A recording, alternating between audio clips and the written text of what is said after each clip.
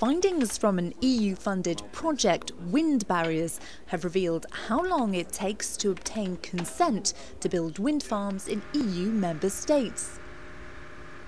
The details were released at the European Wind Energy Conference and Exhibition in Warsaw.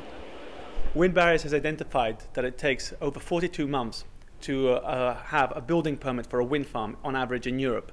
This is much, much too long if we are to meet the ambitious renewable energy targets. In some countries, it takes over four years. This is too long. We have to bring this down. It can be done in less than 20. And it seems there's a big gap between countries. Italy, Belgium, UK are one of the, are the countries that are doing the best in terms of administrative procedures, while Spain and Portugal, which countries that are quite big in terms of megawatts installed and are, are having um, something like 50 over 50 months.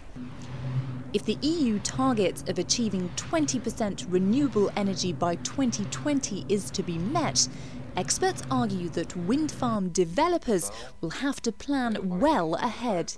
When it takes you three and a half years to, uh, to get just your building consent, then you really need to be uh, handing in the application in, in, in, in well time before 2020. So you have to hand them in in maybe 2015 or 16 in order to have the needed turbines uh, to achieve the 2020-20 goals.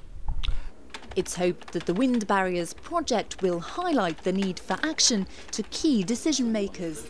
We hope that member states are going to use this report to pinpoint what are our problems in terms of getting administrative barriers for the wind energy se uh, sector and grid access barriers for the wind energy sector in my country. It's extremely important that uh, those barriers are addressed if those countries are going to meet their renewable energy targets. The next issue to be studied by the Wind Barriers project is the length of time it takes for wind farms to get connected to the grid.